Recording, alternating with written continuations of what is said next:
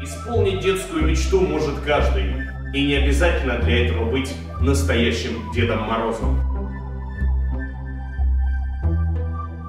Приходите на новогоднюю благотворительную ярмарку «Время чудес» 10 декабря в главный корпус ЮЗГУ. Подарите детям праздник, ведь все чудеса делаются своими руками.